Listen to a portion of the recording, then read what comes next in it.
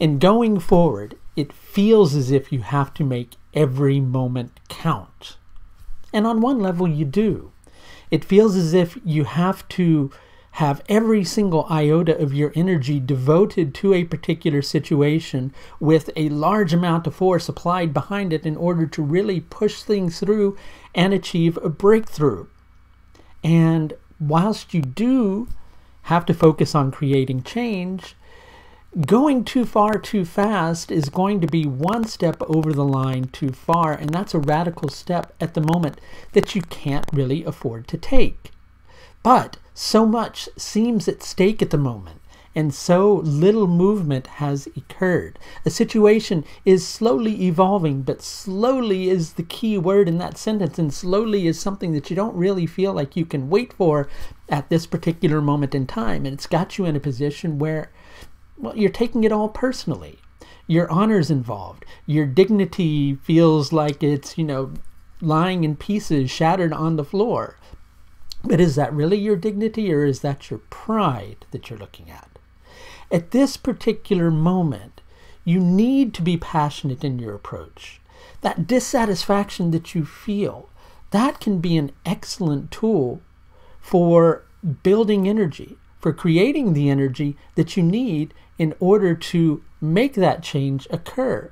But if that energy is not harnessed, if it's allowed to run out of control, if it's allowed to be too damaging to a particular situation, well, it's going to be damaging to the change that you're trying to create as well, right? So, whilst at the moment, on one level, no half measures are acceptable at the same time, wild, undisciplined energy, an energy that's not acting on awareness but instead is just moving on impulse and emotion, that's not going to create a positive change. And we know that positive change is what you need to create. What is the force that is at play behind all of the problems that you're having right now? Perhaps you're taking this too personally. Perhaps you're taking this too personally.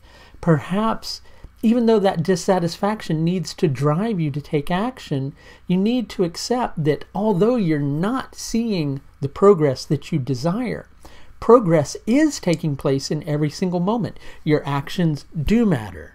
The energy that you're applying to the situation does make a difference. So don't take it personally. Don't look around you and judge the situation at such a disadvantage. Don't see the cup as being half empty when in reality it's half full. And whilst at the same time you want the rest of it to be full, except that perhaps you're dealing with a tap that is dripping very slowly and it's got to fill that glass very slowly in order for it to rise to the top. But perhaps if you were to turn that tap on like full throttle, or deal with, you know, that steady drip that's like coming down that seems like it's moving too slow, you might find that all sorts of rust and toxins and all sorts of other stuff might come up out and fill that cup that are things that you don't really want to have a cup of in the first place, okay? So it's better to accept slow progress rather than trying to force progress that's not going to be what you want.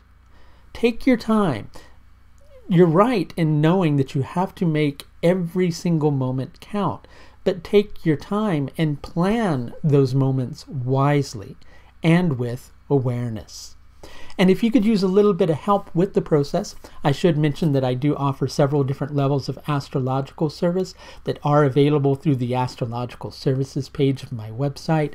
And between now and New Year's Eve at midnight London time, there is a 10% discount applicable on all astrological services.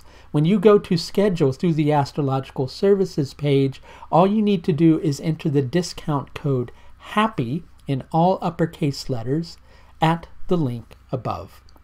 That's going to do it for this look at the moon's transit through Magha Nakshatra on the 26th of December 2018. Until next time, please do take the very best care of yourself. Bye now.